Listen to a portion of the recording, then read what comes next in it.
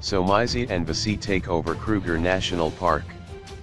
Idols SA judge, Somizi Mhlongo, and his bestie, Vusi Nova were trending again yesterday as they traveled without Mohale inside. The besties had another destination at the Kruger National Park while Mohale Motaung was spotted on another co-location in rural Qwaqwa yesterday. The reality star posted images of himself taking a walk in the rural with a drink in sight. Though Mohale didn't comment on who he was with, his followers couldn't help but pity him as Vusi Nova was taking snaps of his husband in the bush. It looks like Somnova isn't going to stop sharing snaps of their soft life and we won't be seeing Somhale anytime soon.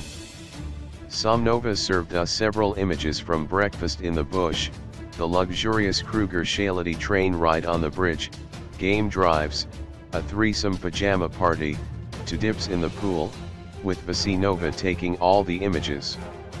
And if that wasn't enough, the reality star even went as far as suggesting in one of his posts that every day should be a weekend or a vacation.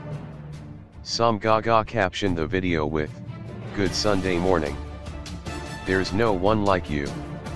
My god followed by another video with the caption Bestie Katayan.